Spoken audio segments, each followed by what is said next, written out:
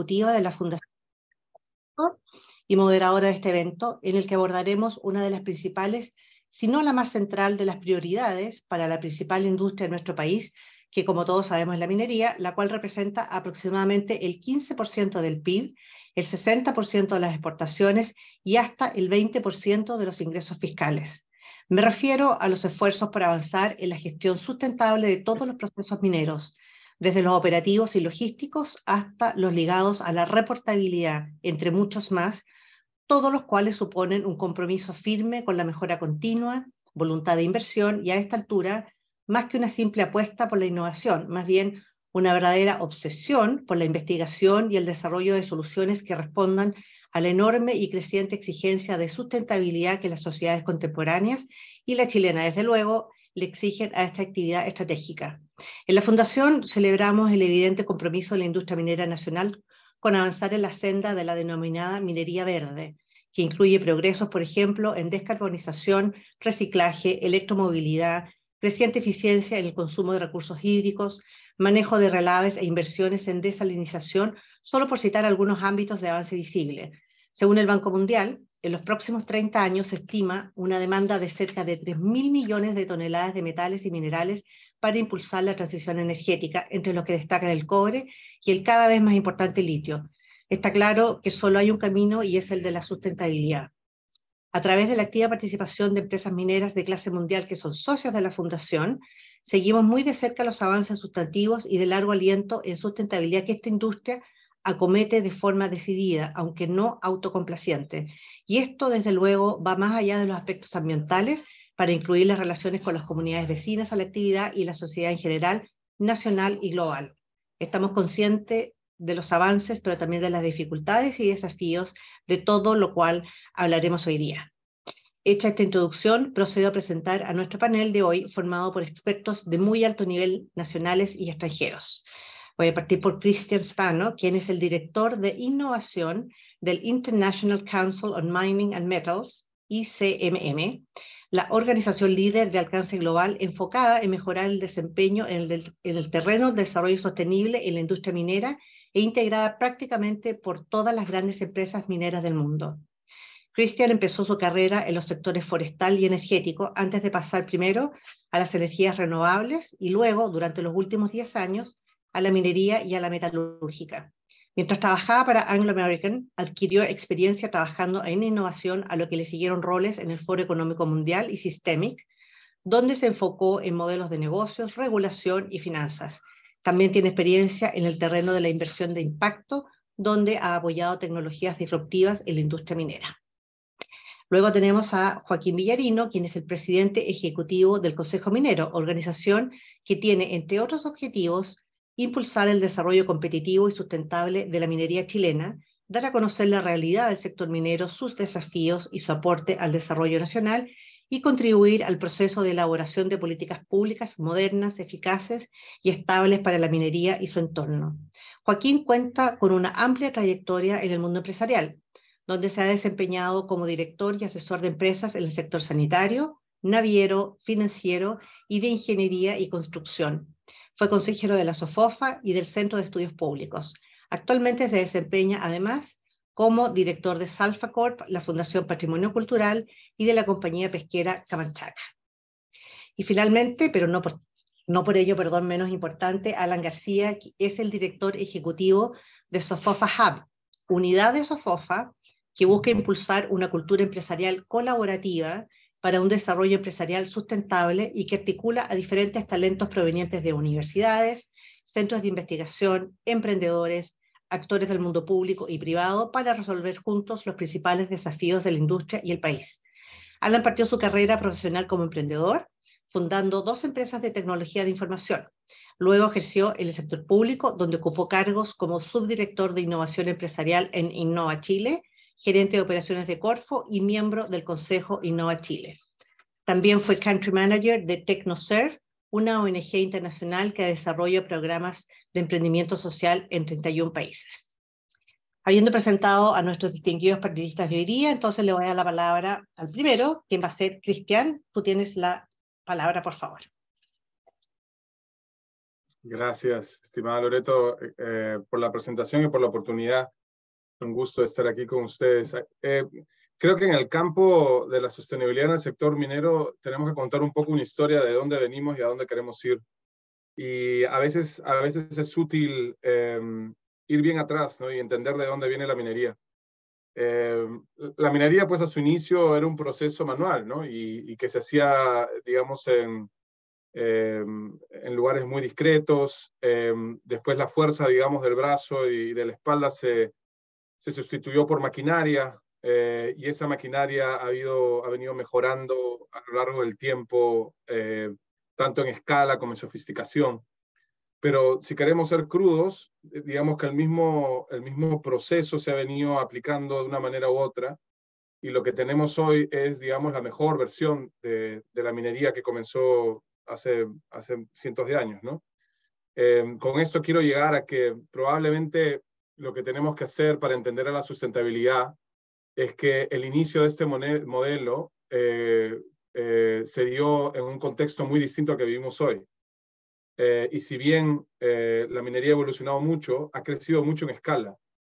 en un planeta que se viene poblando ah, con una rapidez enorme y con un, mundo que nos puede ver desde satélites y que nos sigue en el día a día, minuto a minuto, a través de social networks. Eh, es un mundo muy distinto y probablemente un mundo que nunca imaginamos, ni siquiera probablemente hace 20, 25 años, era imposible pensar que estuviésemos en una realidad como la que vivimos hoy. Y esto para mí eh, no representa un riesgo. Casi siempre cuando, cuando hablo de esto, muchas veces em, la reacción que tengo es un poco de rechazo, de miedo, ¿no? Eh, parece como que estuviese describiendo un modelo obsoleto. Yo creo que lo que tenemos que hacer es simplemente reconocer que estamos frente a una gran oportunidad dado el contexto eh, que tenemos. Nunca hemos tenido eh, el volumen de capital que tenemos como economía, nunca hemos tenido la tecnología que tenemos hoy y la capacidad de innovar que hemos construido a través de los años.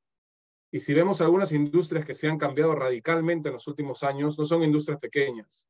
Si podemos ver al sector eh, de generación eléctrica o al sector movilidad, eh, o para ver un subsector al sector de baterías, podemos ver que en la mayoría de los casos han logrado reducir el costo de las tecnologías principales al corazón de su transformación, eh, por ejemplo, en energías renovables, en un 85-87% en un periodo de tiempo de siete años.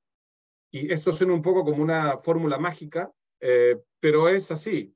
Cuando lo vemos en baterías está pasando lo mismo. La tecnología está avanzando tan rápido y este periodo de siete años se está cumpliendo. Con el tema de los carros eléctricos es lo mismo. Eh, y, lo mismo pasó, como digo, con si uno toma paneles solares como ejemplo. Entonces, para mí este es un momento en el cual la sustentabilidad no, no es una característica, digamos, cosmética del sector minero, sino de, la misma manera en que tomamos a la eficiencia como característica principal dentro de una curva de costos que definía nuestro nivel de competitividad, yo creo que la sustentabilidad se va a volver, si no es ya, la variable que va a definir nuestra competitividad, si no hoy, probablemente mañana y por seguro en el largo plazo.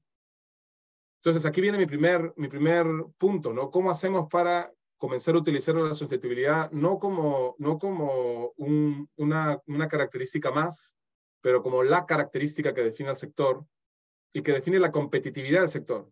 No una característica que agrega costo, no una característica que agrega riesgo, pero una característica que cuando la incluimos en, en nuestra oferta comercial, en nuestra oferta de inversión, en nuestra oferta social, en nuestra oferta, oferta ambiental, agrega valor y agrega competitividad. Yo quiero terminar con un mensaje simplemente para, para dejar espacio también para el resto de panelistas, pero un, mensaje para, para, Latinoamérica y en particular a Chile. Cuando, cuando pensamos en el futuro de la minería eh, en los próximos 10, 20, 30, 40 años, casi siempre tiene una serie de características que, son comunes y aceptadas. Una es que no emite carbono. Eh, la otra es que el, tamaño, digamos, de la superficie que ocupa el sector minero se, viene, se va a reducir muchísimo, eh, dado a diferentes tecnologías. La otra es que si bien eh, ya estamos reduciendo eh, eh, los relaves, que en el futuro probablemente no tengamos relaves, y todo eso en un contexto en el que no se habla de reducir el impacto social, pero se habla de generar beneficio social en cada momento y por seguro cuando se cierra la operación minera. Si tomamos esas características, probablemente Chile y Latinoamérica tengan condiciones de enorme ventaja a nivel global. No solamente por, porque la mayoría de las operaciones de, temas de cobre, por ejemplo, operaciones de cobre, se encuentran al comienzo de la curva de costos con una ventaja enorme, pero porque Latinoamérica y Chile en particular tiene acceso a, a todo lo que se necesita para generar esa minería del futuro. Acceso en volumen a energía renovable a bajo costo, acceso a las soluciones de la naturaleza competitivamente, una experiencia vasta en temas de, inclusión social eh, y, un, avance en tecnología en términos de minería sin, sin relaves o con reducción de relaves significativo. Entonces mi mensaje es realmente ponernos en la posición de que tenemos una oportunidad que si no la utilizamos, la van a utilizar otros en otras partes del mundo y vamos a estar de repente en 10 años o de repente en 5 pensando por qué no explotamos las condiciones que tenemos para redefinir la minería y tomar una posición de liderazgo a nivel global. Lo voy a dejar ahí si está bien, Loreto. Sí, por supuesto, Cristian. Después vamos a, hacerte más preguntas para, para, para, conocer un poco más lo que hace ICMM y, y, cómo ven a Chile también, pero lo vamos a dejar pendiente para, para después de nuestros otros panelistas. Eh, muy interesante además lo que nos planteas de saber también que el tema de la sustentabilidad va a definir la competitividad de la empresa, no va a ser una característica más ni un costo más de, lo, que, lo que tenga que enfrentar las empresas, sino que es la clave. Así que vamos a, preguntarte después en un ratito más cosas. Y ahora eh, le voy a dar la palabra a Joaquín. Joaquín Villarino, por favor, tienes la palabra y eh, te vamos a poner la presentación.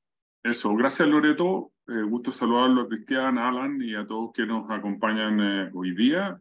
Eh, creo que este es un, un tema tremendamente interesante eh, y, y, muchas veces creo que hay que partir por desafiar el título de la canción, digamos. ¿Se puede tener minería sustentable? Parece un oxímoron, es decir, una contradicción en los términos. La minería no, en, en principio los detractores de la misma suelen decir la minería no puede ser sustentable porque se agota, porque no se renueva, etc.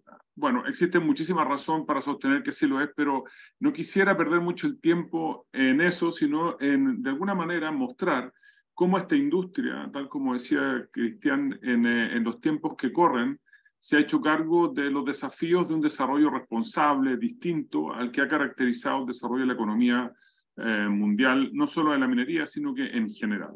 Eh, medir esta industria con los estándares actuales respecto a su desempeño histórico no es justo y probablemente no sea justo para ninguna actividad, ni siquiera para las actividades humanas. Veamos, por lo tanto, en las siguientes cinco láminas, qué es lo que está haciendo esta industria para estar a la altura de las circunstancias. ¿Qué está haciendo esta industria para tener un desarrollo distinto al que ha tenido históricamente? ¿Cómo se está haciendo? No tan rápido, un poquito más, más lento. Eh, eh, ¿qué, ¿qué, está haciendo esta industria? Entonces, en los próximos cuatro o cinco láminas, lo que entendamos qué es lo que es el desarrollo sostenible. Es el desarrollo sostenible, eh, al final del día, es, es aquel que, que permite satisfacer las necesidades de las generaciones actuales sin sacrificar la capacidad de las futuras generaciones para satisfacer sus necesidades y por lo tanto lo que tenemos que ver es cómo nosotros proveemos minerales para satisfacer las necesidades actuales en cantidad y calidad sin sacrificar el medio ambiente y dejando por lo tanto al final ni siquiera una huella eh, digamos eh, más bien positiva que negativa digamos y más que más que neutra positiva, y es lo que se ha denominado hoy día globalmente el nature positive, es decir, cómo nos movemos hacia ser unos actores que tienen una contribución positiva al desarrollo de la, humanidad. El crecimiento, el desarrollo social tiene tres pilares fundamentales. Y así, hay, eh, es crecimiento y desarrollo sustentable aquel que tiene un aporte al crecimiento económico, aquel que se preocupa del desarrollo social y aquel que se preocupa del cuidado del medio ambiente. Cuando descuidamos algunos de los tres pilares, hay que ponerle mucho ojo. El desarrollo deja de ser sustentable. Es decir, si solo estamos preocupados del desarrollo social, es decir, de la distribución de la riqueza, y no estamos en el crecimiento económico y en el cuidado del medio ambiente, más temprano que tarde eso deja de ser sustentable. Lo mismo si solo nos preocupamos del crecimiento económico y no le hacemos caso al cuidado del medio ambiente o al desarrollo social, o si solo nos preocupamos del cuidado del medio ambiente y no nos preocupamos del crecimiento económico, porque por lo tanto no vamos a poder paliar los problemas de la pobreza, los desafíos que representa una sociedad en crecimiento, interconectada con cada vez mayores demandas sociales. El gran desafío de la humanidad, por lo tanto, hoy día de la humanidad, es buscar un sano equilibrio, un justo equilibrio entre cuidar el medio ambiente, la casa en que vivimos, en preocuparnos del desarrollo social que sea inclusivo, justo y que permita que todas las personas tengan una calidad de vida digna. Y eso se logra a través de un crecimiento económico responsable. La siguiente, por favor. ¿De qué manera la industria minera aporta en estos pilares? En crecimiento económico, en desarrollo social y en cuidado del medio ambiente. Bueno, yo creo que en crecimiento económico, y ya Loreto da algunas cifras al iniciar esta, esta, esta conversación, eh, la minería se justifica bastante bien, digamos. Eh, en Chile, eh, los ingresos fiscales por concepto solo de impuesto específico, atendido el incremento del precio del cobre el último año, se incrementó un 220%. La minería y su aporte al PIB es un 12%, pero además si uno analiza el efecto multiplicador de la actividad minera, se llega al 20% del PIB. Más del 40% del empleo en las regiones mineras está directa e indirectamente vinculado con, con esta actividad, representa un 10% del em, empleo total, prácticamente un millón de personas, 900 mil personas trabajan directo e indirectamente. Es un tremendo motor de la actividad económica. Sin minería, sin minería, habría que pensar que probablemente desde el norte chico, es decir, desde la cuarta región al norte, prácticamente estaríamos entre despoblado y en extrema pobreza. Por lo tanto, juega también un rol de soberanía nacional, digamos. Es decir, esto es lo que permite que viva mucha gente en la zona norte del país. De lo contrario, no tendrían eh, a priori una actividad en la cual desempeñarse. Es una, el PIB de regiones mineras está prácticamente en un 60, más de un 50% vinculado con la actividad minera.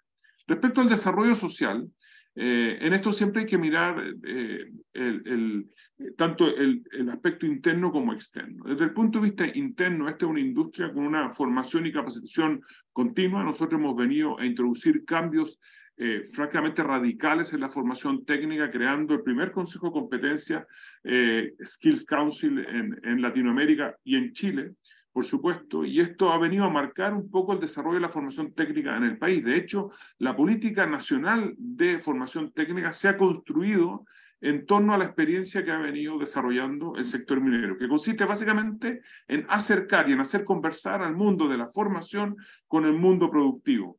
Muchas veces estos sectores no conversan. Ahora hay un camino, una conversación, una alianza público-privada, una estrategia que ha venido a mejorar las competencias y la pertinencia de la educación. Muy importante, se dejan de perder recursos públicos, son más eficientes las asignaciones, etc. Tiene una tasa de accidentabilidad bajísima la industria minera comparada con el resto. Si bien en fatalidades no somos los peores, pero no estamos tan bien, esto hay un desafío global de fatalidad cero a nivel global, pero en accidentabilidad este es un tema central. La calidad y la seguridad del trabajo en minería es francamente extraordinaria y las cifras que ven aquí lo demuestran. Los ingresos en la minería son más de un 50, un 70% mejores que el promedio nacional. Es una industria que paga muy bien, eh, que tiene además altísimas tasas de sindicalización, más del 70%. Y este sector, que ha sido tremendamente masculinizado históricamente, ha hecho un tremendo esfuerzo por la incorporación de mujeres. Los cambios tecnológicos, están abriendo una serie de brechas, las metas que se han puesto las grandes compañías mineras, hemos prácticamente en la última década duplicado la incorporación de mujeres, estamos promoviendo el liderazgo femenino eh, y de verdad nos damos cuenta que eh, si logramos incorporar, retener y transformar a las mujeres en líderes del sector, solo se va a transformar en un mejor sector eh, que va a contribuir a mejorar la calidad de vida de cientos de miles de chilenos. Una siguiente, por favor. Desde el punto de vista em, del, del, del, medio ambiente, que es el tercero de los pilares, vimos el desarrollo social, vimos el crecimiento económico, desde el punto de vista, yo diría que vamos a resumirlo en dos o tres aspectos. Uno es el recurso hídrico. Existe como uh, una especie de historia negra en torno a la minería, que sería uno de los grandes consumidores de recursos hídricos del país. Pues bien, no es así. La minería, de acuerdo a cifras públicas, no, no otorgadas por el sector, sino que por organismos públicos, consume solo el 4% del agua continental en el país. Pero no solo eso, además de consumir el 4%, eh, reutiliza el 76%. Probablemente es el sector más eficiente en el consumo de recursos hídricos. Hay ya 11 plantas desaladoras y hay, otras 7 en, en proyección Eh, hoy el 3% del consumo corresponde a agua de mar y el año 2029, a la vuelta de la esquina, el 50% de eh, consumo de recursos hídricos provenientes eh, necesarios para la industria va a venir de, de, agua de mar, de salar y sin desalar. ¿Qué quiere decir esto? Estamos preocupados del uso cuidadoso, del uso responsable, del uso eficiente, de la búsqueda de fuentes alternativas para satisfacer las necesidades de recursos hídricos. Además, allí donde la minería se ha venido desarrollando, normalmente las comunidades se ven favorecidas por la eficiencia en el consumo de recursos hídricos y el acceso de comunidades que normalmente no tenían o tenían escaso acceso, acceso a recursos hídricos. Tremenda buena noticia.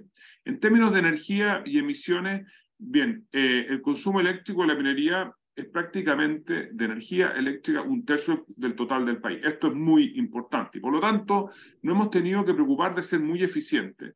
Hemos sido los grandes promotores de la incorporación de energías renovables.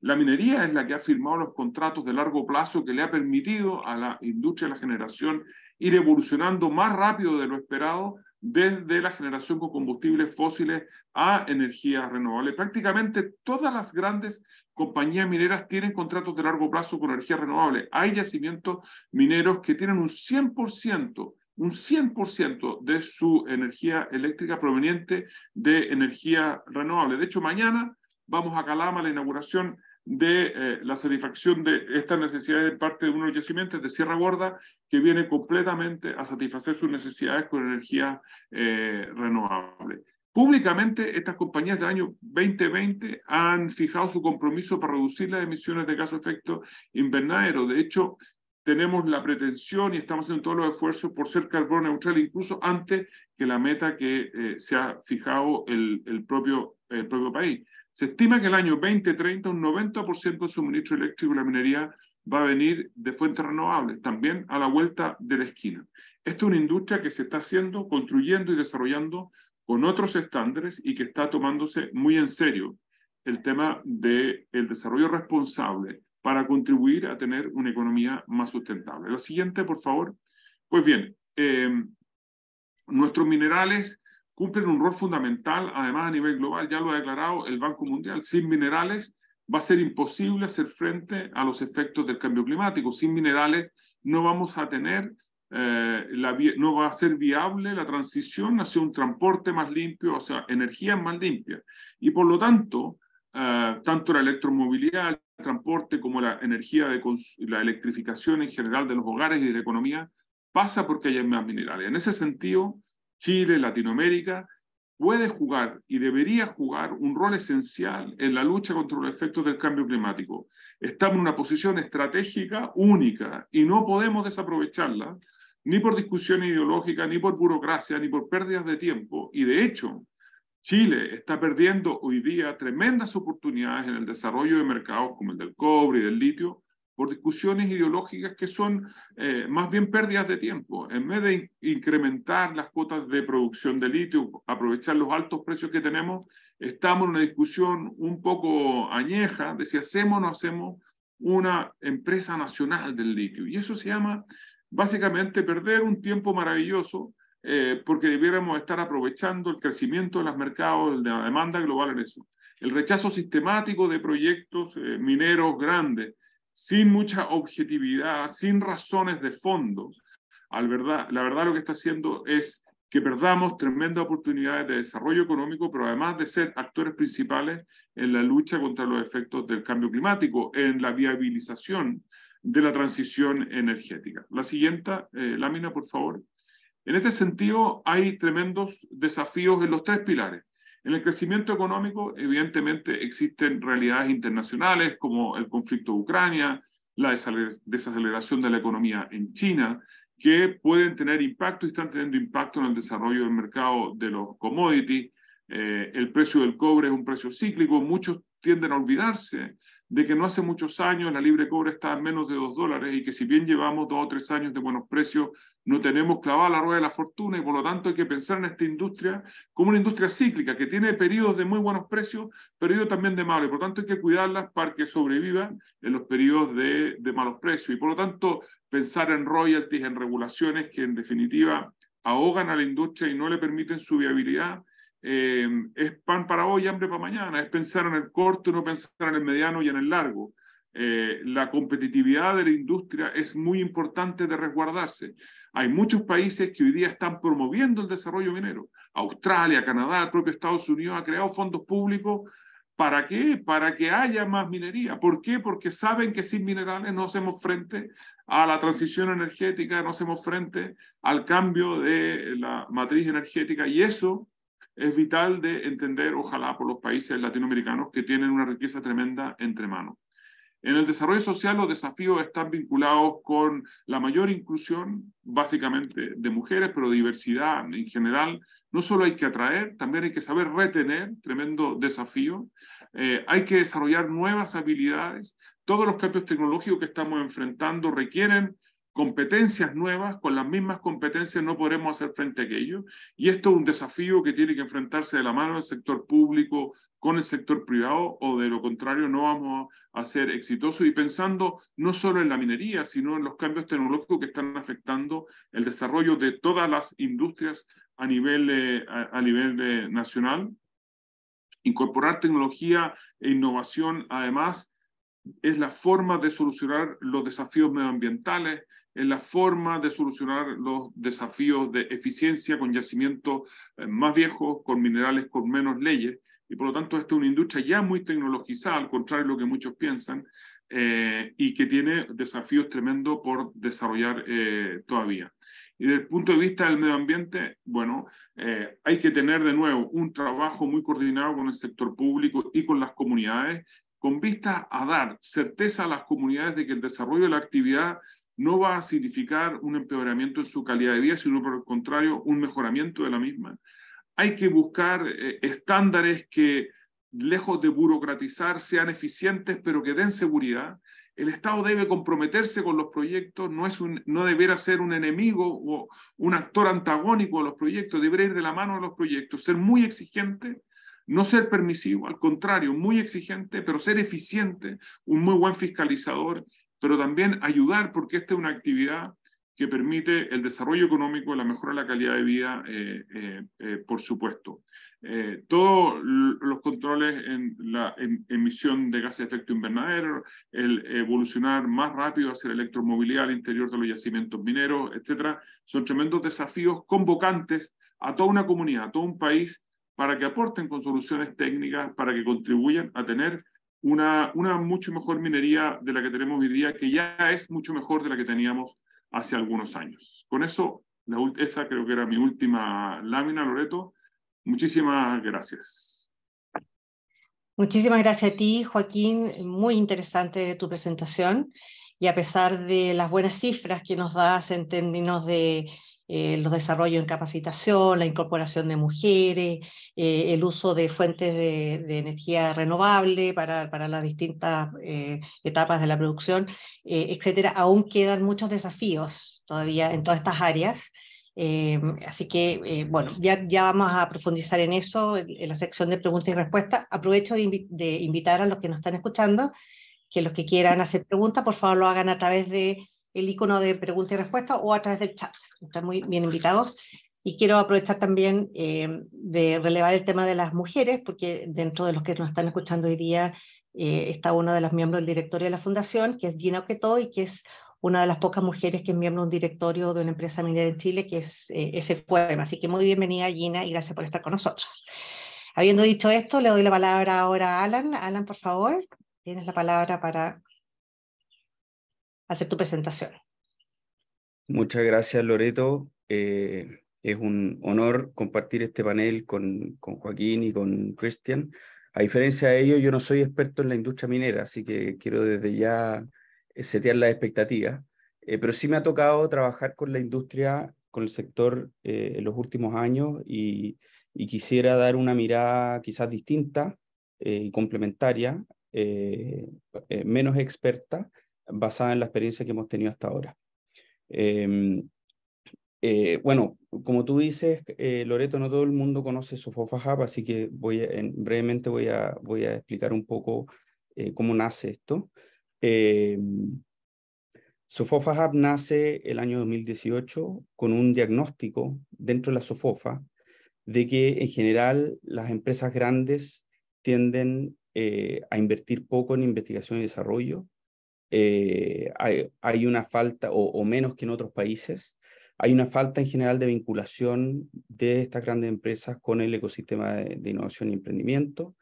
Eh, muchas veces hay una dificultad también por lo mismo de, adoptar nuevas soluciones tecnológicas. Creo que la industria minera ha sido champion en ese sentido en la historia.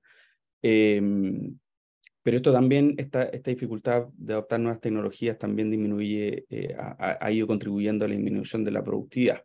Pero más importante que todo eso, existe una serie de desafíos comunes eh, y una aproximación en general de las empresas a abordar, esos, abordar sus desafíos de manera interna y de manera individual cuando, eh, cuando, cuando, hablamos de desafíos del cambio climático, economía circular, tendría todo el sentido que las empresas grandes abordemos estos desafíos de manera conjunta, de manera colaborativa. Entonces, la SOFOFA decide crear este hub eh, que parte como un proyecto dentro de la SOFOFA. Hoy día es un spin-off de la SOFOFA, una corporación sin fines de lucro, eh, cuyo principal socio es la SOFOFA, pero tiene además otros socios eh, corporativos y, y, del ecosistema de innovación. Em, crear este, este, este, ecosistema de colaboración que permite abordar justamente los desafíos empresariales de manera colaborativa. Es decir, eh, las distintas empresas y de los distintos sectores colaborando eh, desde sus distintas experiencias y miradas, pero también junto a, a una red global de innovación y emprendimiento. Entonces nosotros siempre pensamos en esto como una plataforma de articulación público-privada, donde ponemos los desafíos al centro y donde convocamos alrededor de esta mesa a las empresas, a entidades públicas, porque muchos de los desafíos que tenemos, eh, como explicaba Joaquín, también requieren de una participación activa del sector público. Y sentamos también en la mesa a estos distintos eh, representantes de, de, la red global de innovación, incluyendo academias, centros de investigación, startups, otros hubs y también comunidades. Em, y bueno, como, como, como es un espacio colaborativo, eh, tendemos a abordar aquellos desafíos que son más comunes o menos estratégicos para la empresa, dentro de los cuales la economía circular eh, y la sustentabilidad obviamente están al centro. Y hoy día quiero hablarles, eh, a propósito de la sustentabilidad en el sector minero, de un, de un caso particular que tiene que ver con la simbiosis industrial. Yo no sé si todos conocen este término, pero eh, se ha puesto más de moda últimamente. Pero la simbiosis industrial tiene que ver con cómo transformamos subproductos de un sector en materia prima para otro sector, de manera tal de poder acelerar la transición hacia la economía circular. Eh, generalmente, como decía antes, el tema de la sustentabilidad y el tema de la economía circular dentro de las empresas, y estoy hablando aquí de todos los sectores, eh, tienden a ser abordados de manera interna y partió mucho con un foco en el reciclaje. Eh, y partió mucho también con una mirada del el impacto de los plásticos eh, y, de, lo, de toda la, basura que, que, que uno produce y recibe a nivel domiciliario. Pero resulta que en el sector industrial los volúmenes de subproductos o de residuos son, son muy grandes en el fondo y por lo tanto se genera una oportunidad muy grande también para poder avanzar hacia eh, la, economía circular a través de este concepto de la simbiosis industrial. Nosotros, eh, eh, bueno, dentro de Sofofa Hub tenemos distintos programas, le voy a hablar solamente de dos con los cuales nos ha tocado interactuar bastante con el, con el sector minero. uno de ellos es un programa que desarrollamos junto al Foro Económico Mundial desde el año 2020, eh, y que tiene como principal objetivo acelerar la transición hacia la economía circular justamente a partir de la simbiosis industrial. Eh, este programa eh, partió con tres etapas. La primera etapa tenía que ver con la, la, identificación de oportunidades de simbiosis industrial, es decir, levantar estas oportunidades. Lo que hicimos acá fue convocar a empresas de distintos sectores para poder ver cómo integrar las distintas cadenas productivas.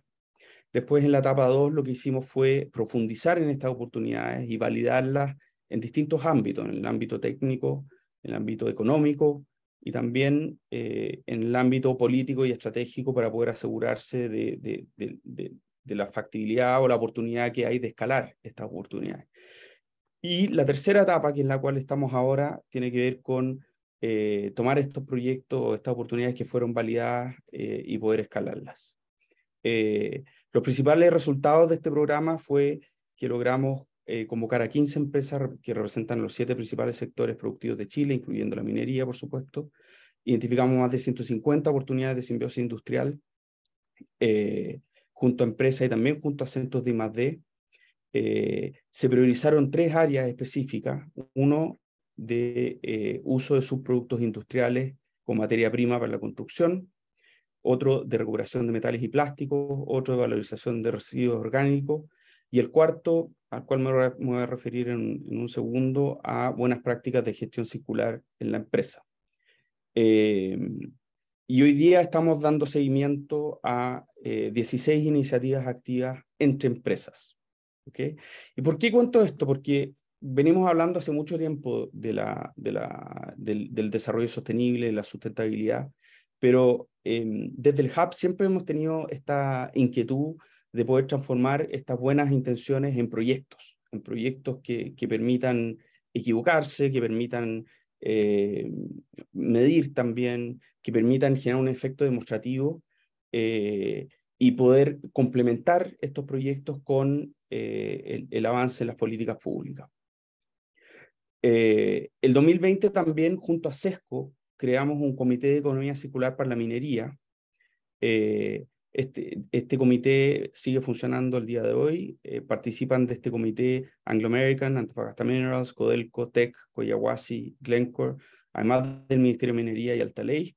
y el principal objetivo de este comité no, es, no, no está centrado en las políticas públicas, eh, que es más bien la función de la SOFOFA, sino que está más bien centrado en la articulación de proyectos e iniciativas colaborativas que permitan acelerar la transición hacia la economía circular en el sector minero.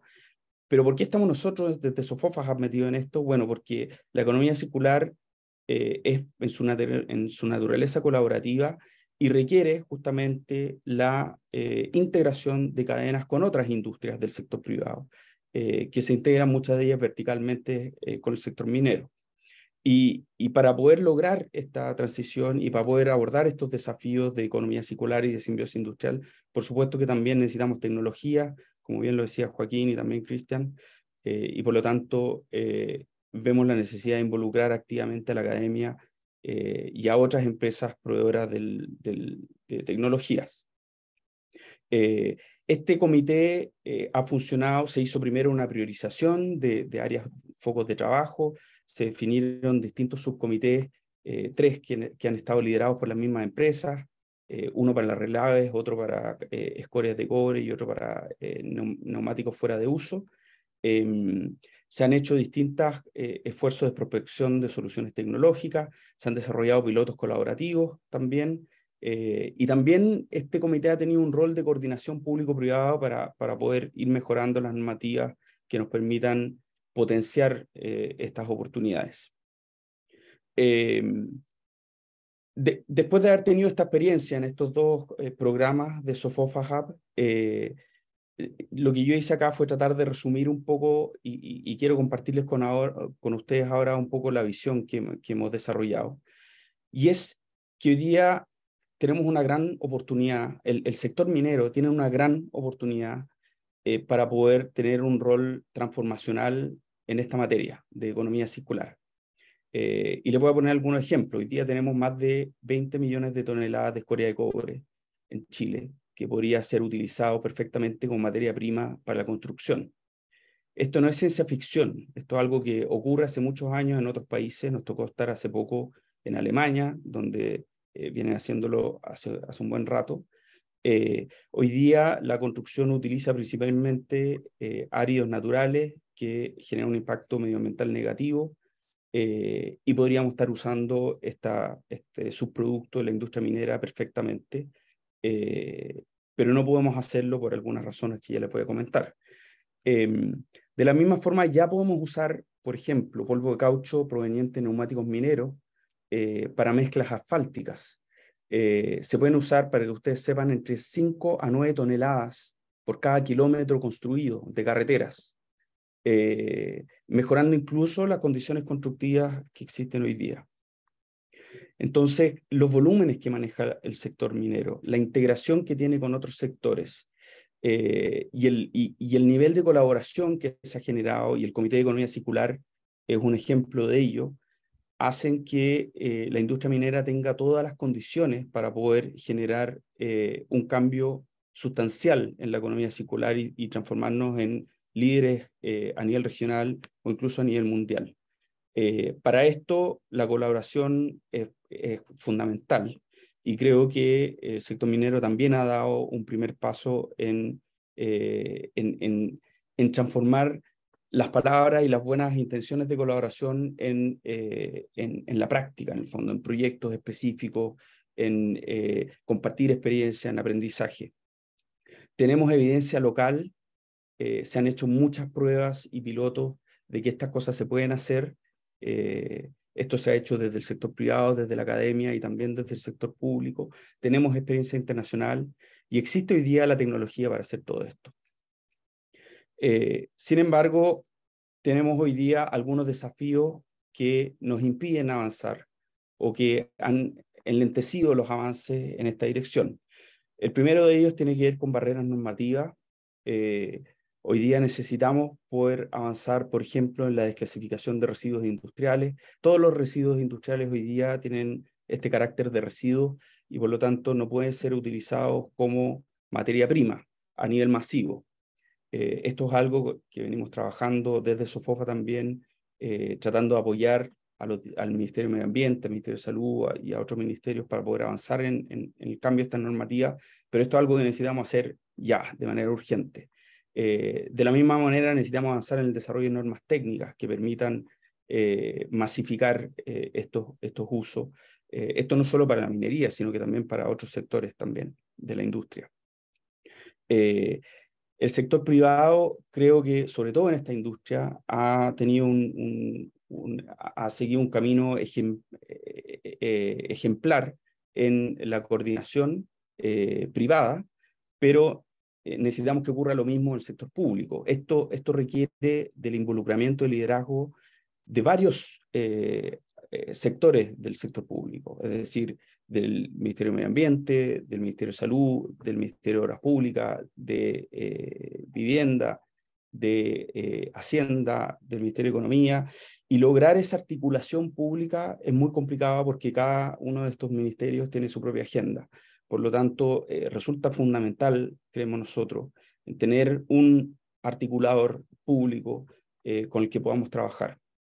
Eh, tercero, se tienen que crear nuevos modelos de incentivos.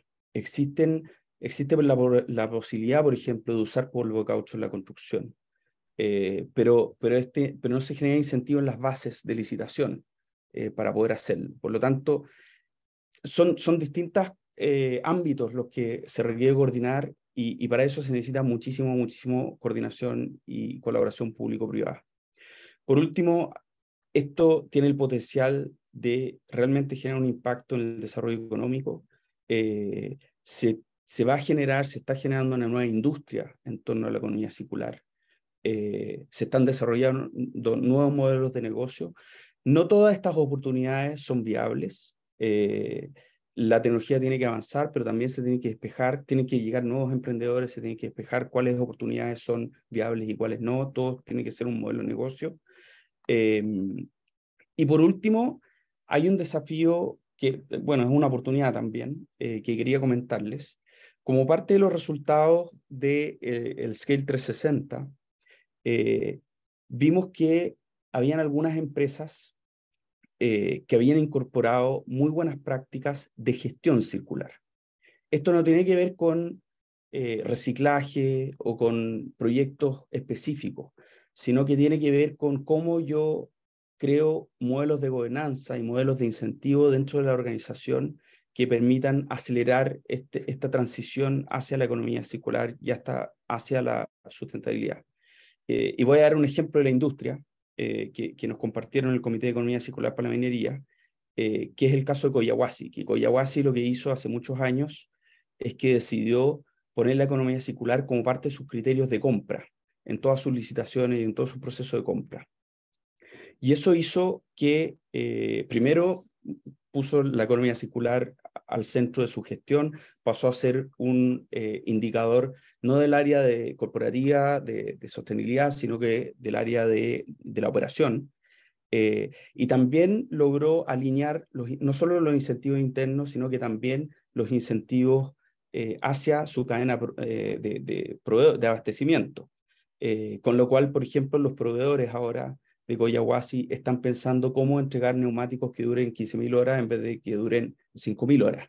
Eh, por lo tanto, el problema ya no es cómo reciclo los neumáticos, el problema es, en el fondo, cómo logro eh, avanzar hacia un modelo más sostenible. Y así hemos identificado otras buenas prácticas, eh, no solo del sector minero, sino que de otros sectores. Estamos trabajando ahora junto a la SOFOFA en el desarrollo de una guía de buenas prácticas de gestión circular y esperamos poder compartirla con todos ustedes pronto.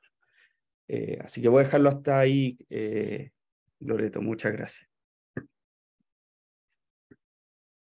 Eh, gracias a ti, Alan, por compartir em, primero lo que hace Sofafa Hub, que, tal como lo, lo, mencioné al principio, no es tan conocido aún, el trabajo súper interesante que están haciendo en torno a la economía circular em, y cómo han tomado algunos aspectos de la minería también, a pesar de que es mucho más amplio lo que hacen. ¿no? Em, muy interesante saber eh, casos como el de Coyahuasi, que ha integrado el tema de la economía circular en su gobernanza y eso se, se, se, transmite a toda la cultura de cómo se hace el negocio y por supuesto que redunda en una, en una gestión mucho más eficiente en torno a la economía circular. Así que, bueno, vamos a partir con las preguntas. Ya hay varias preguntas eh, en, nuestro, en nuestro chat. Eh, voy a partir una, con una pregunta para Joaquín. Eh, y que quisiera saber acá eh, em, em, quiero dar el nombre de la persona que lo hace, que es Violeta Udovich, que es analista senior de MC Inversiones Limitadas, subsidiaria de Mitsubishi Corporation. Y quisiera saber, bueno, primero agradece la presentación y dice, ¿podría destacar algunos proyectos de sustentabilidad en responsabilidad social empresarial en el mundo minero de Chile? De ser, los proyectos más exitosos desde, desde tu punto de vista. Esto es para ti, Joaquín, si tener más detalles. Gracias, Loreto. Gracias a todos los que mm, nos han saludado en el chat y que nos han agradecido la presentación. Muy amable por sus palabras. A ver, yo creo que hay un sinnúmero. Yo aconsejaría o sugeriría mirar la página web del Consejo Minero porque tiene una plataforma específica donde están muchísimos de los proyectos que se vinculan con desarrollo social y que están eh, de alguna manera liderados por las compañías mineras. Pero yo diría que eh, hay iniciativas que tienen que ver con el tema educacional, que son tremendamente atractivas, otras con temas medioambientales, eh, que también son atractivas, y otros con temas económicos. Y voy a dar una en cada una. Por ejemplo, en la región de Antofagasta, prácticamente todas las compañías mineras se han unido para el desarrollo de los proveedores locales. Esto significa eh, que tienen una preocupación especial de que sus proveedores sean y estén radicados en la región. Esto fortalece la economía regional, esto de alguna manera genera un mayor vínculo entre la empresa y la sociedad, pero además permite que muchísimos más de los que viven en la región gocen de los beneficios de trabajar cerca de la actividad minera. Y esto es a través de plataformas, de recursos para el perfeccionamiento. En los momentos de crisis como en la pandemia se concurrió incluso con recursos económicos para la mantención de muchos de estos que pasaban por momentos más complicados tendría la crisis económica. Desde el punto de vista cultural, hay algunas iniciativas que son francamente notables. Por ejemplo, el Teatro Amil, digamos, está financiado básicamente, y esto por dar una, una iniciativa que es hiper conocida, que fomenta la actividad cultural en el país, el financiamiento de museos como el Museo Precolombino, etc. Eso tiene un impacto en el desarrollo cultural eh, muy importante, de alto nivel, y esto ocurre en muchísimas regiones también de la mano de la industria minera. Desde el punto de vista medioambiental, hay algunos que a mí me gustan muchísimo. Por ejemplo, eh, en la zona norte, eh, alguna de las compañías mineras lo que hizo fue eh, mejorar ah, todos los sistemas de regadío de los pueblos aledaños a la industria. Partió esto por un conflicto. Las comunidades le echaron la culpa a las compañías mineras de que se estaban quedando sin agua.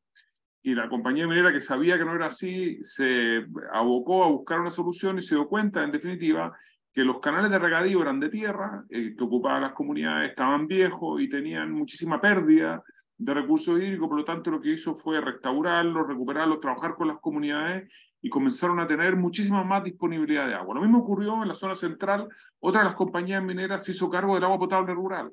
¿Qué es lo que ocurría? Eh, la, eh, la, NAPA había bajado, había poca tecnología y esto con no muchos recursos introdujeron tecnología y esto hizo que disminuyera el consumo energético para proveer de agua, aumentara la disponibilidad de agua en más de un 60 o 70% y disminuyeran los costos para satisfacer esto. Y esto de la mano de las comunidades trabajando en conjunto con el sector público y con la empresa privada. Reitero algo que dije eh, durante mi presentación. La mayoría de estos proyectos son exitosos, son más exitosos cuando se juntan las tres manos, digamos, el sector privado, las comunidades y el sector público. Esta es la mejor manera de lograr políticas sociales exitosas con mirada de largo plazo y con alto impacto. O si no, las empresas empiezan a sustituir al Estado, se genera un problema político y además de responsabilidad que las empresas no quieren incurrir.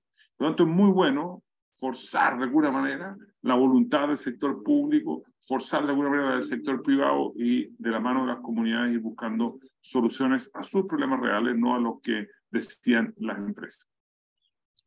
Muchas gracias, Joaquín. Y efectivamente, eh, es algo que mencionó también Alan, eh, el rol del sector público acá es muy importante, eh, sobre todo lo que tiene que ver con las materias regulatorias, legislativas.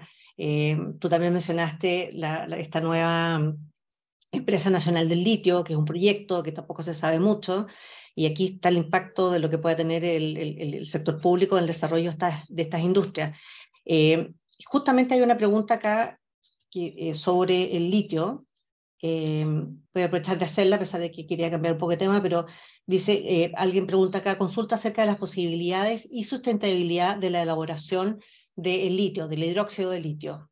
no sé si hay algo ya, hay algún estudio que ustedes tengan sobre el impacto que pueda tener la producción del hidróxido del litio en, en, el, en, el, medio ambiente, si hay alguna política de sustentabilidad que se esté hablando, no sé. Eh, Joaquín, no sé si tú tienes algún, algo que compartir. Sobre, sobre, este tema me declaro, me declaro ignorante, eh, no, no, no sé y por lo tanto eh, nos vamos a preocupar de buscar, ya tenemos aquí a quien es, pero que me mande un mail y nosotros lo podemos poner en contacto con, con la gente de Sukimich, que es la que realmente sabe de este tema y puede dar una muy buena respuesta. Esta es una empresa que está en la vanguardia global, no solo en Chile, la vanguardia global del desarrollo de la industria. Eh, es un líder mundial reconocido, eh, entre otras cosas, por la calidad de lo que produce. Y, por lo tanto creo que ahí es donde va a encontrar la mejor respuesta a esta, a esta pregunta. Vamos a ver si pasamos a, a Gina Oquetó, que está dentro, y dice, yo disponible, dice acá en el chat, Gina, para contestar. Sí, bueno, ahí, tienen, mejores manos no pueden quedar. a lo mejor la vamos a pasar a ver si quiere decir algo, la pasamos acá después para que dé algunos comentarios sobre esto. Así que prepárate, Gina. Eh, Alan, sobre, siguiendo sobre el tema del, del, rol del sector público, ¿nos puedes comentar qué, qué, qué recepción ha tenido este esfuerzo eh, de innovación en economía circular en el sector público? Porque tenemos súper claro el, el, pacto que ha tenido el mundo privado, pero no así tanto en el sector público. ¿Qué ha pasado con las materias, en materia regulatoria, legislativa, etcétera, desde el punto de vista de ustedes? Gracias, Loreto. Mira, eh, nosotros hemos visto en el sector público un, un interés eh, y una voluntad de poder avanzar en estos temas.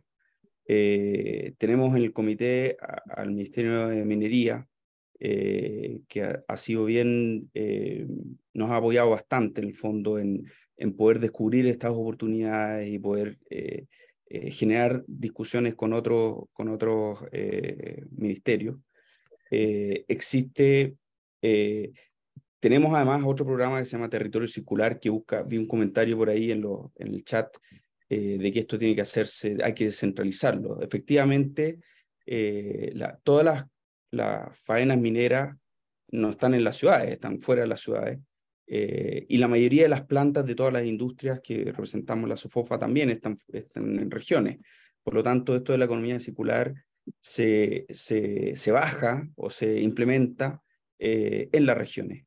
Em, y este programa Territorio Circular es un programa impulsado por Corfo, y, y, por el Ministerio de Medio Ambiente, que tiene justamente como una de sus, su principal objetivo es avanzar la hoja de ruta de economía circular. Eh, donde uno de los ámbitos tiene que ver con los temas eh, normativos y regulatorios. Y, Corfo también ha tenido un rol importante y el Ministerio de Economía en, eh, en cumplir este rol de articulación. por lo tanto, se han creado algunas mesas ahora en, el marco del, o, bajo el alero del Ministerio de Economía para justamente tratar de destrabar varias de estas barreras que existen hoy día. Pero son procesos lentos, ¿no? Ustedes saben que esto no ocurre de un día para otro. Em, yo siempre tengo la sensación de que pueden avanzar más rápido. Y, quiero decirlo aquí también, se lo hemos dicho varias veces, que nosotros estamos a, disposición del gobierno para poder apoyar en esto. Eh, eh, creo que el sector privado en general está muy dispuesto a poder apoyar. Para poder avanzar en las normativas se, necesita hacer estudios, se necesita tener eh, cifras, hay que hacer pruebas de cosas más técnicas. Eh, y en Sofofa eh, y con el Comité de Economía Circular y Minería estamos eh, súper disponibles para poder hacer eso. así que creo que ha avanzado algo, Loreto, pero tenemos mucho que avanzar y siento que falta meterle más energía y falta más coordinación en el sector público. Muchas gracias, Alan. para seguir contigo, ahora para ir a los pequeños, los más pequeños, ¿no? a los emprendedores o a las MIPYME, estima que, ¿cómo estimas que son las oportunidades para ellos, las oportunidades de negocio que se abran a partir de la economía circular? Si tiene perfil más adecuado para, para estos más chicos, eh, para los proveedores y, de ámbitos locales cercanos a las operaciones mineras, por ejemplo, eh, particularmente lo que tiene relación con los relaves mineros, que, que al cálculo que estiman que hay hasta 700 en Chile. ¿Qué oportunidades ven ustedes de economía circular a partir de ello? A ver, eh, Déjame primero, déjame separar las cosas, Loreto. Hay, hay, creo que aquí hay oportunidades para todos porque se tiene que desarrollar una nueva industria eh, en torno a la economía circular. Eh, esta industria va, eh, beneficia en el fondo, puede beneficiar desde la artesanía. hemos visto cómo hay microemprendedores que están produciendo distintos accesorios a partir de eh, los neumáticos mineros, por ejemplo, eh, hasta eh, capacidades para poder transformar los neumáticos mineros en polvo caucho, que, donde se requieren capacidades mucho más grandes en el fondo, y, no basta con tener un microemprendedor, sino que se necesita más bien tener un proveedor tecnológico. entonces yo creo que yo creo que están todas las piezas del puzzle listas para ser ensamblado el puzzle. Lo que necesitamos es generar la demanda y generar las condiciones habilitantes. Em, hay oportunidades para emprendedores tecnológicos. Hoy día eh, estamos viendo, por ejemplo, eh, a, raíz del Scale 360 surgió la oportunidad de poder extraer eh, amoníaco de ciertos subproductos orgánicos para poder usar ese amoníaco en la industria. Eh, y tiene amoníaco verde. Em, y para eso se necesita tecnología, hay que hacer investigación y desarrollo, hay que involucrar las universidades, o, y, luego, una vez que se validan esas tecnologías, tiene que haber un emprendedor que lo transforme en un negocio. Eh, todas estas todas estas oportunidades no son el core business de las empresas mineras. Por lo tanto, eh, se genera ahí la oportunidad de que un emprendedor transforme, desarrolle un nuevo modelo de negocio y se transforme en un proveedor para eh, la minería. Y es ahí donde, donde vemos la... Pero no, no te puedo dar un listado ahora de todas las oportunidades, pero hay muchísimas, eh, Loreto, y sobre todo en temas de innovación de materiales, innovación en la cadena logística, economía circular, eh, entre otros, energía del futuro. Súper, muchas gracias, Alan. Bueno, ahí también la Fundación Chile también hace trabajo, tiene relación con tratar de integrar a los pequeños en la gran, las grandes empresas, no solamente en la minería. Así que hay, mucho trabajo por hacer efectivamente. Eh, Cristian, que te tenemos medio, medio de, de, costado y nos fuimos a las cosas de aquí de Chile, pero justamente el, interés que teníamos de tenerte con nosotros hoy día es que nos gustaría saber un poco más de, de saber cuáles crees tú que, que, son las tendencias principales en la industria minera eh, global en materia de sustentabilidad, desde una mirada global cuáles son los esfuerzos que, que sustentabilidad de la minería formal y a gran escala y, que están siendo socializados y entendidos de forma positiva. Y dejando de lado los grupos ambientalistas radicalizados, por supuesto. Eh, gracias, Loreto. La verdad que estoy escuchando y aprendiendo mucho, así que encantado de, de seguir la dinámica. Em, voy a responder tu pregunta y también me gustaría construir sobre lo que ha dicho Alan y Joaquín. Eh, sobre las tendencias, claro, el, sector minero se está volviendo un sector eh, mucho más sustentable y lo que a mí me genera eh, tranquilidad en decirlo es que cuando uno ve el modelo actual de minería, el modelo actual de minería tiene que volverse mucho más eficiente en cómo alcanza el recurso, cómo planifica el recurso, cómo reduce la cantidad de, de, residuos, de, de, waste, de, tailings, eh, tiene que volverse y se está volviendo mucho más eficiente desde el punto de vista de uso de aguas, de energía. Y de nuevo, no como una promesa de sustentabilidad, es simplemente donde se ve dónde está el recurso, las condiciones, dónde están los nuevos yacimientos y las condiciones. Cuando uno se pone a pensar dónde estaba el sector minero eh, global en términos de considerar los aspectos sociales y las diferentes actividades y, approaches de, cómo eh, conversar con las comunidades, conversar con los gobiernos. Si uno ve dónde estábamos hace 10 años y dónde estamos hoy, hay un nivel de sofisticación mucho más evolucionado. ¿no? Entonces, si tomamos ese paquete en donde el, el modelo de hoy del sector minero debe volverse mucho más eficiente, mucho más, eh, eh, digamos, eh, mejor en cómo identifica y, rescata el, recurso y de una manera que involucra a las comunidades mucho mejor. Hay una tendencia que realmente, de la cual no podemos escapar. No es como otras industrias en donde hay una promesa de sustentabilidad, pero realmente si mantienen el modelo actual, que no está sustentable, realmente siguen caminando, o sea, tienen un futuro. En el caso del sector minero no existe un futuro, si es que no seguimos en una tendencia que ya venimos construyendo desde hace ya 10 o 20 años o más. A mí lo que me gustaría es virar un poco o, ir un poco a la conversación eh, que Alan está proponiendo y a mí me encanta cuando viene alguien de fuera del sector, ¿no? Eh, porque el lente que aplica Alan es un lente sumamente poderoso. Entonces, y a mí me gustaría compartir tres áreas que nosotros llamamos de blind spots, ¿no? Que son eh, puntos ciegos.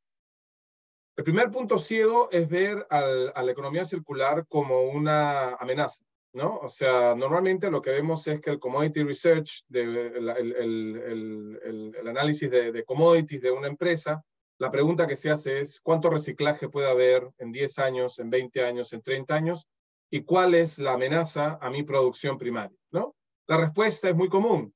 el reciclaje es muy pequeño, y viene en 40 años. Entonces no hay que preocuparnos porque el riesgo de una economía circular no va a afectar al, a la economía eh, o, a, la a, la, a, la, producción primaria del, sector minero. Creo que esa es una parte pequeñísima del análisis, que es bueno tenerla como un punto de partida, pero el punto ciego viene desde, desde, desde el caso de que el sector minero se está volviendo circular desde su producción y que es probable que sea una de las industrias que por obligación se tiene que volver una industria circular lo más rápido posible. De nuevo, no por una presión de medio ambiente o de ONGs, o es porque tiene que, por el grado de eh, que estamos recuperando en los yacimientos y en los yacimientos nuevos, y por el tipo de eh, acceso a los recursos claves como energía y agua. Es una industria que ya está proponiendo volverse desde su proceso una industria circular que probablemente en su contribución sea la más grande desde un punto de vista de reducir residuos y de circularidad desde muchos aspectos. No hablamos sobre eso, simplemente lo planteamos como un punto de riesgo. El segundo punto ciego es que el producto que generamos, el mineral y el metal, es un producto renovable. El, cobre, el hierro, el aluminio, si, aterriza con las condiciones necesarias, es un producto que se puede usar para siempre. No, no se vuelve nunca basura. Y entonces es un, es un punto de ventaja que tenemos que realmente comenzar a abrir y experimentar. Y no tiene que ver con reciclaje, tiene que ver con conversar con los diferentes eh, países y las industrias que compran nuestro metal para colocarlo en bienes y productos que realmente pueden recuperarse para volverse realmente un producto renovable. Hoy por hoy, con las condiciones que tienen los mercados y los productos en donde van nuestros recursos, no son renovables. Se vuelven, inclusive en el mejor de los casos, después de siete ciclos, la totalidad del producto se vuelve basura. Entonces, hay estos puntos ciegos que no nos permiten realmente entender que nuestra industria tiene un potencial enorme en la economía circular. Y en vez de rechazarla y tomarla como un riesgo, deberíamos realmente abrazarla. Y para terminar, quiero pintarle simplemente un cuadro. ¿Qué pasa si abrazamos la economía circular? Si Chile abraza la economía circular para la minería, como dice Alan, habría una revolución industrial una revolución industrial completa. Y si queremos incluir el carbono como uno de los, eh, de los residuos, agarramos una mina y la volvemos circular, una serie de cadenas de valor se vuelven circulares y comienzan a aparecer nuevas cadenas de valor que no existían a nivel local, porque tiene que ser a nivel local. El aporte en términos de trabajo, en términos de erupción de carbono, en términos de productividad, en términos de industrial y de inversión, es exponencial. Entonces, realmente apliquemos ese lente. No apliquemos el lente de mayor costo para hacerlo circular o mayor costo para hacerlo sustentable, sino tratemos de entender cuál es el lente que nos va a permitir entender la oportunidad. Porque de acá a 10 o 20 años esa oportunidad se, debe haber ido. Muchas gracias, eh, Cristian. No sé si, si tienes algún comentario, Alan, con respecto a eso. No, me, me estoy, muchas gracias Cristian, es justamente la, la, la, oportunidad que, que, hemos estado viendo y eh, acá en Chile por lo menos tú sabes que la minería, como bien describió Joaquín, tiene, eh, es una industria muy importante y que se integra con muchos otros sectores eh, verticalmente, por lo tanto el potencial de poder realmente mover la aguja. es decir, el, reciclando botellas que llegan a nuestros hogares, eh, botellas plásticas, vamos a poder avanzar en algo, sobre todo en la cultura, eh, porque nos vamos a acostumbrar a separar nuestra basura en nuestros hogares. Pero si tú ves los volúmenes que existen en la industria de residuos, que además están todos limpios, juntos, eh, no están todos mezclados, para poder realmente mover la aguja y generar un, un impacto medible eh, y relevante, no solo en Chile, sino que en el mundo, es enorme. Y esa es un poco la, la, la oportunidad que quería eh, relevar en este, en este webinar y eh, muy contento, Cristian, que, que también lo hagas eco de esta oportunidad.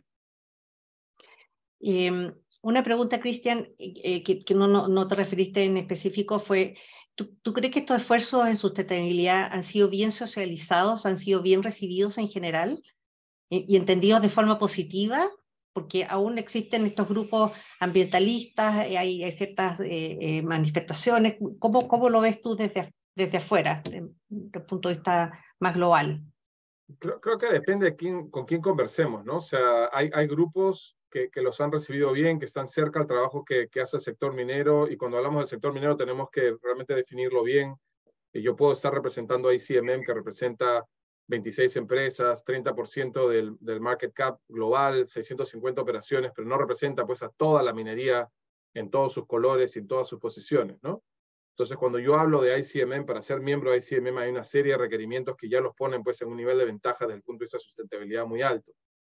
Entonces creo que si hablamos de ese, de ese grupo, eh, digamos, se reconoce el esfuerzo, se reconoce la mejora, eh, y, claramente cuando uno pone pues, a un miembro de CMN con, con, con, con el contraste de, digamos, de, otro, de otras empresas mineras en otras partes del mundo, se ve una diferencia por diseño, ¿no? Porque es, es, como, es como lo hacemos.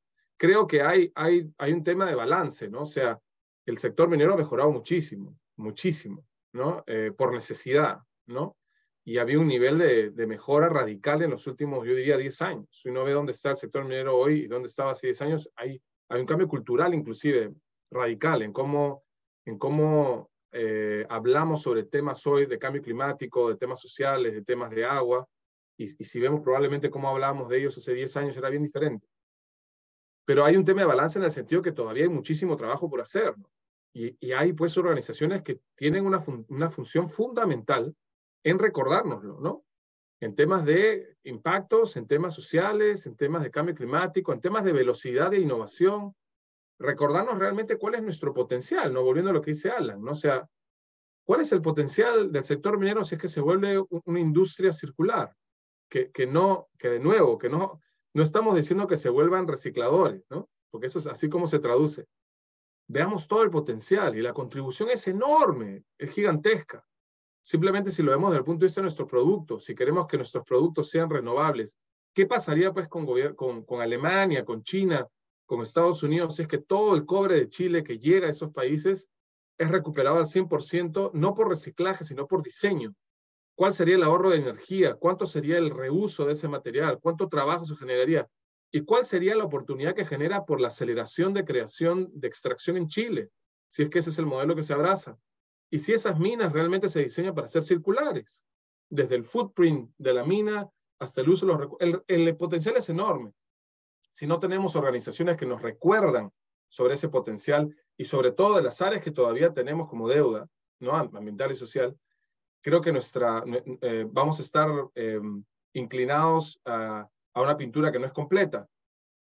Pero creo, creo, que, creo que no es un trabajo solamente de comunicación, tenemos que aprender a comunicar mejor nuestro avance y eso es un trabajo en progreso. Creo que ha habido un avance real, de nuevo si comparamos a la minería de hoy con la de 10 a 10 años, pero creo que, existe, que existan grupos radicales de, de media, de, medio tono y, y amigos todos cumplen una función importantísima que al final nos ayudan a, vernos desde afuera y, a resaltar áreas que de repente deberíamos explotar más. Muchísimas gracias, Cristian. Una pregunta para Joaquín. Joaquín, ¿cuál, ¿cuáles dirías que son los ámbitos de mayor desafío y complejidad en el desarrollo de innovación para hacer de la minería una actividad cada vez más sustentable? En este sentido, ¿Cómo evalúas, por ejemplo, el potencial del hidrógeno verde en los procesos mineros?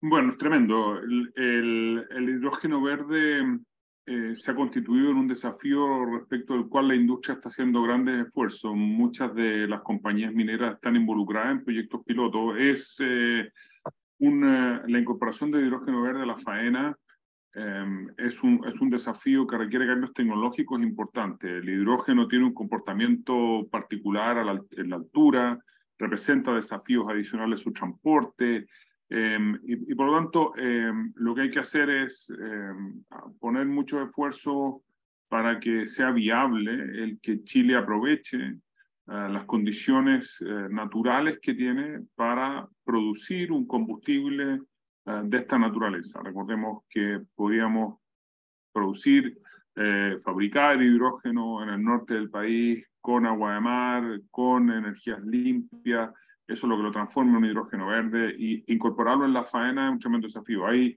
prototipos de camiones, eh, de los grandes camiones, el, clásico camión que se vincula con la industria, que ya están funcionando y en los cuales están involucrados compañías que operan en Chile. Um, sin lugar a duda, este es un desafío global, están las grandes economías detrás de ello.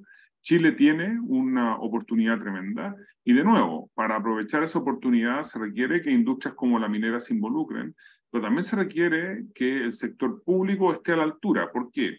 Porque hay demandas eh, de, de todas maneras desde el punto de vista regulatorio, digamos, de que bajo qué condiciones se van a aprobar medioambientalmente proyectos eh, de, de, el que se fabrique hidrógeno verde, cómo se transporta, digamos. es decir, eh, las competencias, cómo ponemos al mundo laboral, y al mundo de la formación, eh, para crear las competencias, para que tengamos personas que, hombres y mujeres, que puedan manejar, digamos, una industria de este tipo, eh, etc. Hay aquí una línea de trabajo gigantesca que requiere mucha generosidad y que requiere colaboración. Cuando uno piensa que esto solo lo va a hacer el Estado, comete un error garrafal. Si solo pensamos que el sector privado se va a echar esta mochila al hombro, comete otro error garrafal. Esto requiere un trabajo mancomunado y un área maravillosa que sí, sí es un uh, salto eh, realmente relevante en el cambio de nuestra matriz energética hacia el avance de una economía eh, con, menos, con menores emisiones. Tremendo desafío, pero, pero ya estamos viendo cuáles son los problemas que tenemos los desafíos que tenemos y, yo creo que hay que hacer falta. Hay una mesa en Chile que está liderada por, eh, por Corfo y que está encaminándose ya en, en esta línea. Ojo que esto es, eh, es, una industria que ya tiene detractores, mucho cuidado, ya tiene muchos detractores. Esto es como la desalación. Uno dice, ya llegó la desalación, hagamos eh, plantas desaladoras, con esto vamos a solucionar el problema de acceso al agua, Hay países en el mundo que han solucionado íntegramente su consumo de recursos hídricos a través de la desalación. Bueno, hay movimientos medioambientalistas, sobre todo contrarios a esta industria, y hay que hacerles caso en las preocupaciones que tienen, subirlos a la conversación. Bueno, hay algunos que, que ya no tienen solución, digamos, pero la mayoría son un aporte a la conversación, son un desafío, eh, hay que hacerle, hay, hay que poner atención a, esos temas. Lo que pasó en Punta Arenas con, eh, con un parque eólico gigantesco para satisfacer las necesidades en la fabricación de, de combustible sintético, después una luz amarilla, digamos. Esto no, está, no es for granted, como se dice, no está garantizado que vamos a poder hacerlo. Requiere muchos desafíos, entre otros, convencer a muchos que no lo ven como, como una solución. Sí, y tal como dice Cristian, que estos grupos, de repente que uno los ve muy radicalizados, bueno, hay, que escuchar, ¿no? Y estar abierto a, aspectos que uno no, no, ve cuando está metido en la gestión o, en la producción misma. Eh, sin duda siempre hay algún tipo de aporte.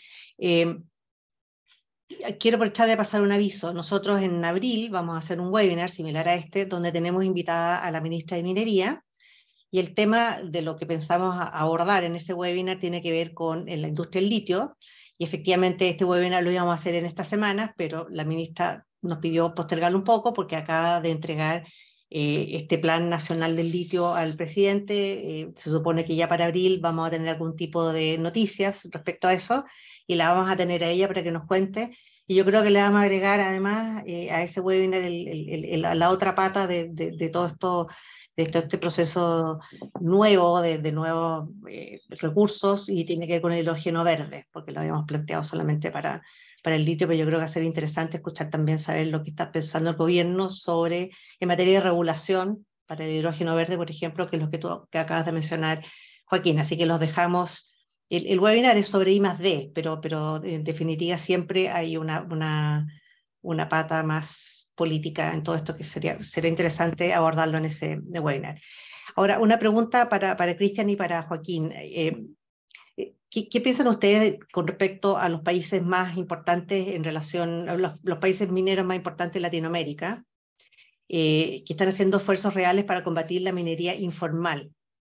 ¿Qué, qué, ¿Cómo ven esto ustedes el impacto que tiene en sustentabilidad, sobre todo ambiental? eh, toda esta minería informal y los esfuerzos que están haciendo los gobiernos. No sé, Joaquín, si puedes partir tú, después eh.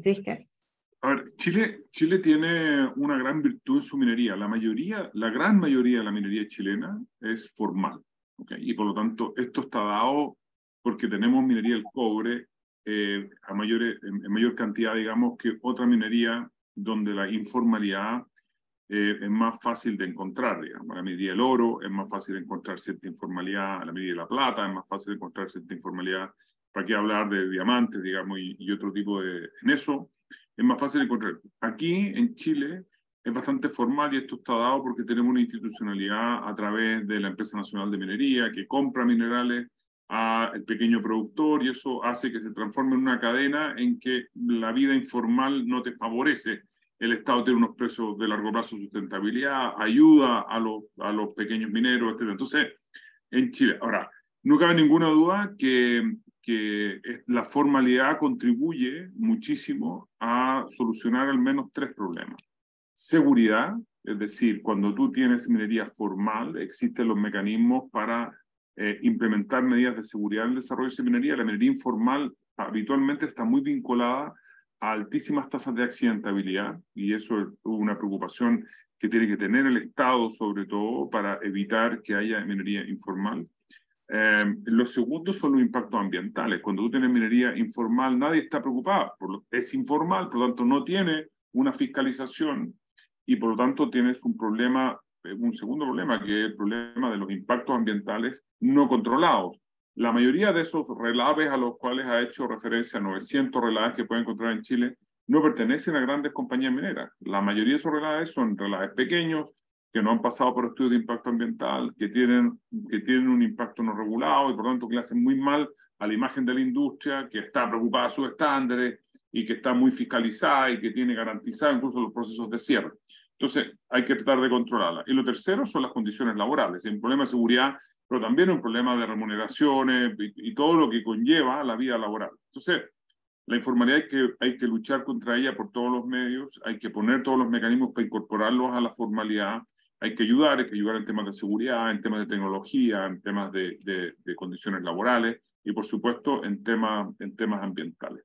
Eh, por suerte, Chile tiene poca informalidad. En la medida del oro hay más informalidad, pero Chile no es un gran productor de oro, por lo tanto es un nicho acotado, lo cual no quiere decir que tengamos que desentendernos, ojo creo que hay que, eh, esto requiere un doble, una doble mirada. Loreto, solo para complementar, a mí es, es, poco lo que puedo agregar, realmente Joaquín ha hecho una, una respuesta fantástica, solamente dos puntos.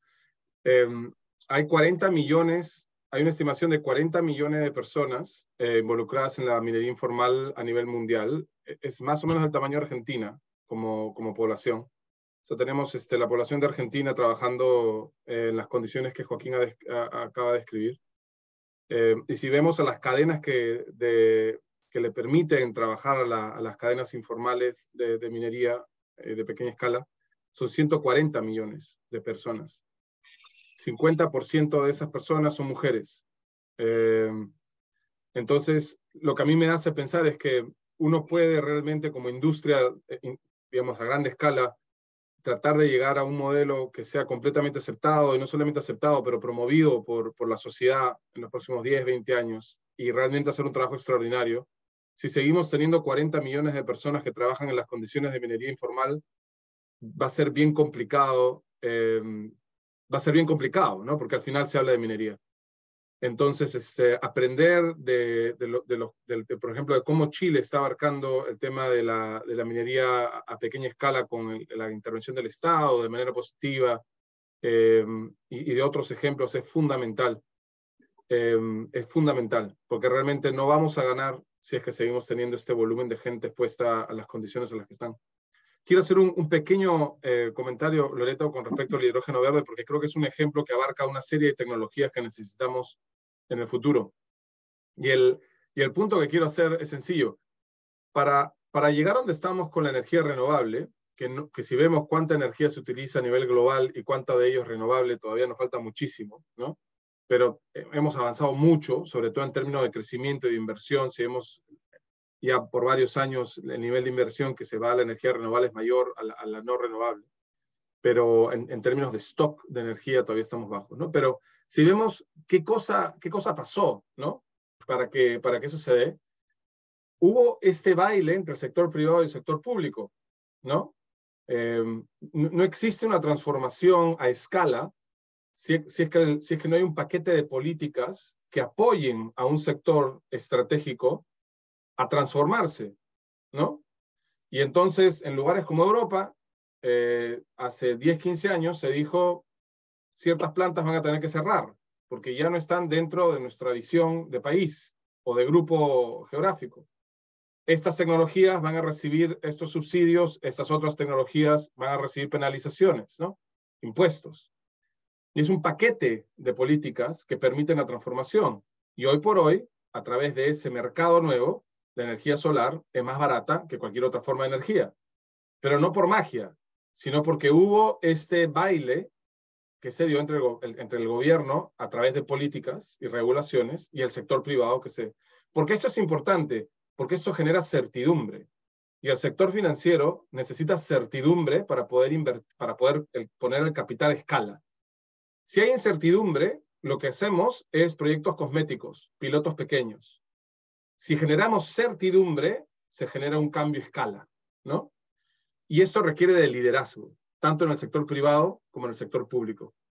Si no tenemos liderazgo que se pueda generar a través de esta conversación entre los dos sectores, nos vamos a quedar a, escalas pequeñas o a papers, ¿no? O a pequeños videos que explican siempre eternamente cuál fue la oportunidad que perdimos.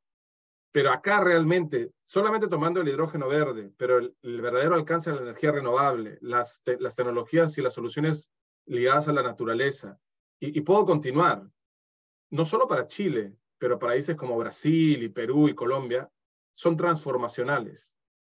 Y si no permitimos este diálogo basado en el liderazgo, que nos permitan realmente hacer la transición a escala, lamentablemente creo que vamos a tener esta conversación varias veces en las próximas décadas. Muchísimas gracias, Cristian. Muy interesante. No sé si Alan quiere comentar algo, Joaquín, con respecto a...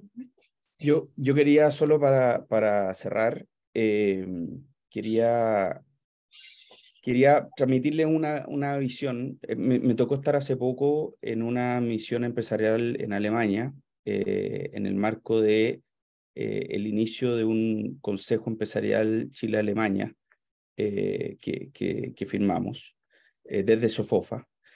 Y em, realmente me impresionó el interés que existe en Alemania eh, de trabajar con Chile como partner para poder avanzar en el desarrollo sostenible. Eh, no solo por nuestra capacidad de producción de hidrógeno verde, como comentaban acá, sino que también por la relevancia que tienen nuestras materias primas como el cobre, el litio, en la economía del futuro. Si nosotros somos capaces, como, como esbozaba Cristian, de transformar nuestro sector eh, minero en un sector circular, y no solo eso, sino que además si podemos utilizar este hidrógeno verde para poder disminuir la huella eh, en la distribución de nuestras materias primas hacia el mundo, creo que eh, podríamos, o sea, sin duda tendríamos un rol eh, protagónico en eh, la descarbonización de, de nuestra industria y en, eh, en, en, el fondo como proveedor del, del mundo en, en, estos temas. Así que creo que tenemos una, una tremenda oportunidad y, y, y, tenemos que aprovecharla. Muchísimas gracias, Alan. ¿Tú, Joaquín, quieres decir algunas palabras para cerrar?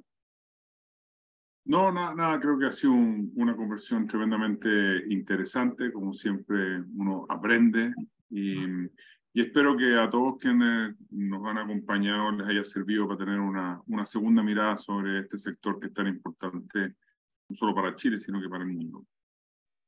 Bueno, sin duda que ha sido así. Desde ya hay muchos comentarios en el, en el chat y en, en, las preguntas y respuestas agradeciendo las interesantes presentaciones, los nuevos conceptos novedosos.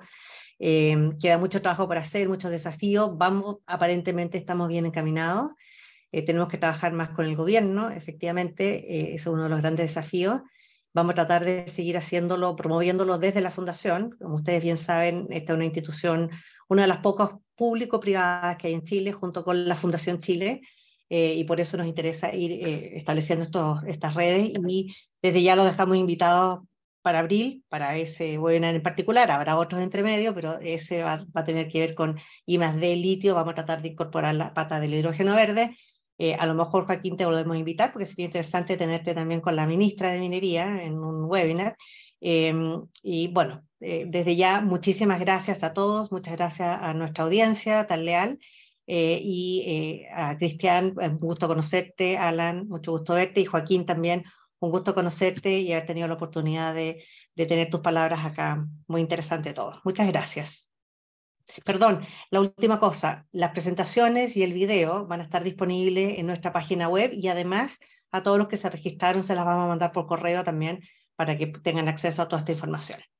Muchas gracias. Gracias, muy gracias. Muchas gracias. Chao. Buenos días. Gracias.